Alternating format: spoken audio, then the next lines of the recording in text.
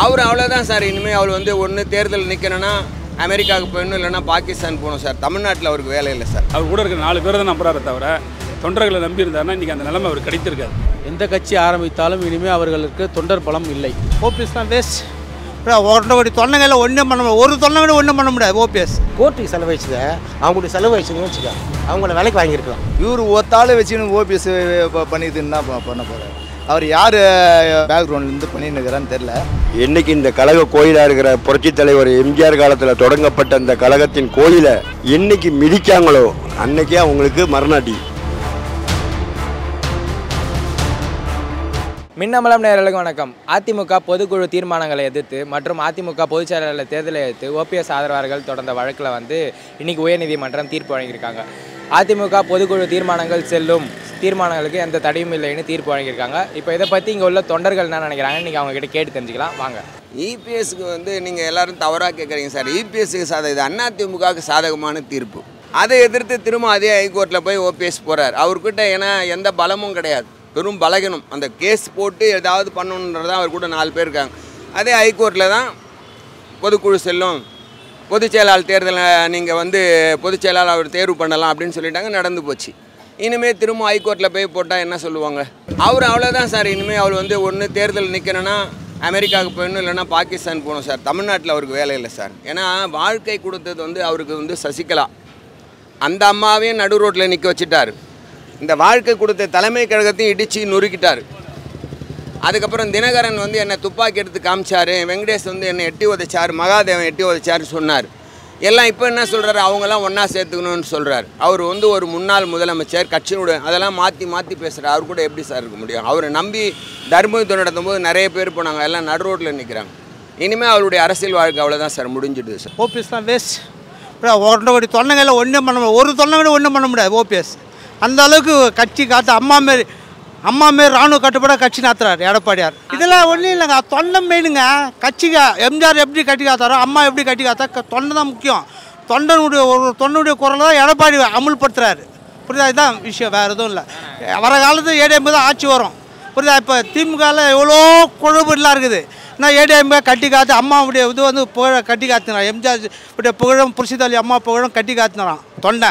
எடப்பாடி இப்போ எடப்பாடிக்கு ஆதரவாகிறான் பாஜக வந்து இங்கே ஏடிஎம் காலை பிடிச்சிட்டுக்கிறான் பாஜக வந்து ஏடிஎம் காலை பிடிச்சிட்டுக்கிறான் ஒரு தொண்டைனா பாஜக அண்ணாமலே பதில் சொல்ல முடியாது. வேறு நாங்கள் கேட்குற ஏடிஎம்க்கு தொண்டை வந்து ஒரு தொண்டை வந்து கேட்டால் கூட அண்ணாமலே பதில் சொல்ல மோடி ஒன்றும் பண்ண முடியாது.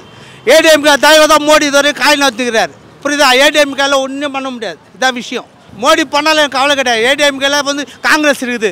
சப்போஸ் எடப்பாடி அந்த காங்கிரஸ் வந்தாலும் ஆச்சரியப்பட முடியல. திமுக வந்து பிரிஞ்சு வந்தாலும் ஆச்சரியப்பட முடியல. இதான் உண்மை. ஓபிஎஸ் வந்து ரெண்டாயிரத்தி ஐநூறு பொதுக்குழு உறுப்பினர். அவங்கள அவர் வந்து இந்த கோர்ட்டுக்கு செலவழிச்சதை அவங்களுக்கு செலவழிச்சுன்னு வச்சுக்க அவங்கள வேலைக்கு வாங்கியிருக்கலாம். எப்போ முடிஞ்சிருக்கு இது மேட்ரு எல்லாத்தையும் கட்சி தொண்டனுக்கு என்ன பண்ணியிருக்காரு இது வரைக்கும்? அவங்க பிள்ளைய மட்டும் பிள்ளைய மட்டும் எம்பி ஆக்கி கொடுக்குறாரு. கட்சிக்காரனை வந்து எப்பவுமே அவர் வந்து மதிச்சதில்லை. எடப்பாடியார் அப்படி இல்லை. எடப்பாடியார் பேரை சொன்னாலே சாதாரண கட்சி தொண்டன் நான். இங்கே சைதாப்பேட்டில் இருக்கிறேன் எனக்கா அவங்க ஒரு ஒரு சிலர் வந்து ஜாதி வச்சு சொல்லுவாங்க. எனக்கு ஜாதிலாம் சம்மந்தம் இல்லை. அதிமுக பொறுத்த வரைக்கும் ஜாதின்றதே இல்லை. தலைவன் மட்டும்தான் முக்கியம். அது யாராக இருந்தாலும் எம்ஜிஆராக இருந்தாலும் சரி அம்மாவாக இருந்தாலும் சரி இப்போ எடப்பாடியாக இருந்தாலும் சரி. எதிர்த்தரப்பு வந்து ஆரம்பத்திலேருந்து கோர்ட்டை நம்பி தான் அவர் வந்து செயல்பட்டு கொண்டிருக்கிறார். தொண்டர்களை சந்திக்கவில்லை. தொண்டர்கள் அனைவருமே கழக பொதுச்செயலாளர் எடப்பாடியார்கள் அவர்கள் தலைமையில்தான் இயங்குகிறார்கள். அவருக்கு தொண்டர்கள் ஒரு துளி யாரும் ஆதரவு இல்லை.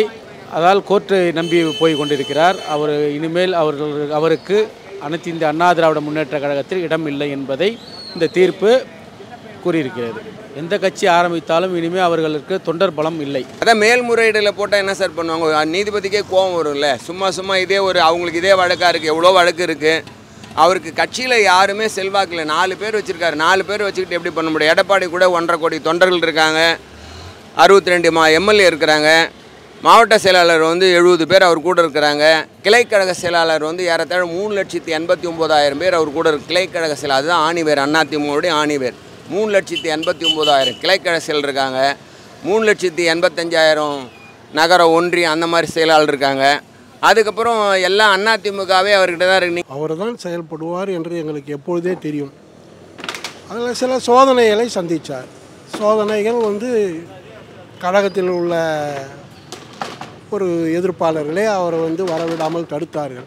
மேல்முறையீடு அவர் செல்வதற்கு வழி இருப்பதாக எனக்கு தெரியவில்லை. சென்றாலும் இதுவரையில் அவர்கள் அணிவித்ததை தான் மீண்டும் அவர்கள் அணிவிப்பார்கள் என்பதை பணிவுடன் தெரிவித்துக் கொள்கிறேன். ஒற்றை தலைமை வேணும்ட்டு கட்சிக்காரர் விரும்புனாங்க அதே மாதிரி அது மாதிரி ஒற்றை தலைமையாக இவர் எல்லாம் மக்கள் விரும்புகிறாங்க கட்சிக்காரங்க எல்லாரும் அவர் தான் விரும்புகிறாங்க மேல்முறையீடு பண்ணாலும் எல்லாம் நிறைய முறையீடு பண்ணியிருக்கிறாரு இப்போ இப்போ காலகாலமாக ஒரு ஆறு மாத காலமாக நாங்கள் பார்த்து தான் இருக்கிறோம். கட்சி பிளவுப்பட்டதுலேருந்து கருத்து எல்லாருமே ஓட்டத்தலைமை வேணும்னு நினைக்கிறாங்க.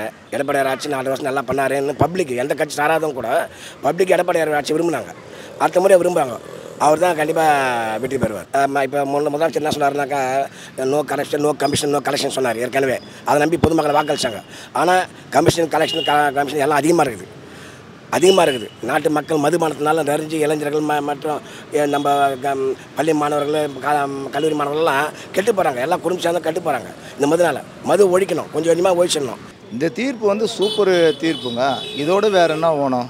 இந்த தீர்ப்பு தான் அங்கே மே மேல்முறையீடு பண்ண விட அந்த தீர் இந்த தீர்ப்பு வச்சு தான் சொல்ல போகிறாங்க இவர் ஒத்தாள் வச்சுன்னு ஓபிஎஸ் பண்ணிட்டு என்ன பண்ண போகிறார் அவர் யார் இதில் இந்த பேக்ரவுண்ட்லேருந்து பண்ணின்னு இருக்கிறான்னு தெரில ஆனால் இந்த தீர்ப்பு நல்ல தீர்ப்பு தான். அவர் எவ்வளோ தூரம் பண்ணாலும் ஃபஸ்ட்டு சர்க்கிள் சர்க்கிள் தாங்க. தொண்டனே இல்லாத ஆ- ஆளே இல்லாத இடத்துல டீ கடை ஆத்துற மாரி அவருக்கு கதை.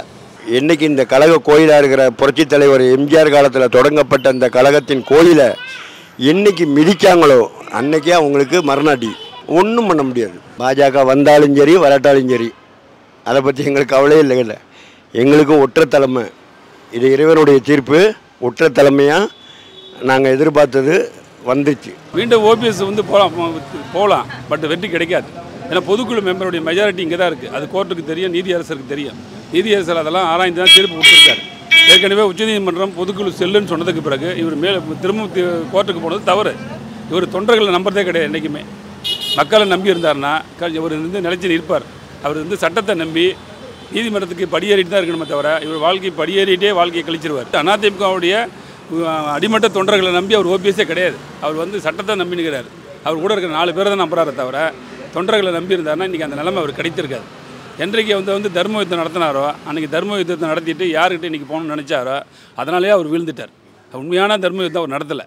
தனக்காக நடத்தின தர்ம யுத்தம் தான் அதுன்றது எல்லாருக்கும் தெரிஞ்சு போச்சு. அதிமுக தொண்டர்கள் எல்லாருமே அதை வந்து விழிச்சிக்கிட்டாங்க. ஆனால் அவர் கூட இருக்கிற தொண்டர்கள் யாருமே கிடையாது. அவருக்கு இருக்கிறவங்க நாலு பேர்னால தான் அவர் வந்து கடைசி வரைக்கும் வீணாக போக போகிறார் நீங்கள் இப்போ பார்த்துக்கிறீங்க பால் தட்டுப்பாடு பஸ்ஸு கட் பஸ்ஸோட தனியார் இதில் போய்க்குது. மின்சாரம் தனியாரில் போயின்னு இருக்குது. இப்போ வந்து மின்சாரம் மவுண்ட் ரோடெலாம் மின்சாரம் இது பண்ணின்னு இருக்கிறாங்க என்ன இன்றைக்கி எல்லாமே பார்த்தா நாட்டில் விலைவாசி அதிகமாக இருக்குது. ஒருத்தனை ஒருத்தனை சம்பாரித்து ஒரு குடும்பத்துக்கு வந்து மறைமுகமான மறைமுகமான வரி ஏறின்னு வந்துன்னுக்குது. இதுவே பின்னால் வந்து பிக்பாட்டி எடுக்கிற மாரி இது கவர்மெண்ட்டு. ஏடிஎம்கே தான் வரப்போகுது. நாற்பது சீட்டு வரப்போகுது. பாருங்கள் பொறுமையாக இருந்து பாருங்கள் ஏன்னா ஒரு வாட்டி தமிழ்நாடு வந்து மற்ற இந்திய கட்சி லெவலில் கிடையாது ஏடிஎம்கே திமுக ஏடிஎம்கே திமுக. எல்லாம் ஏடிஎம்கே தான் வரும். மின்னம்பலம் டாட் காம் தமிழின் முதல் மொபைல் பத்திரிகை.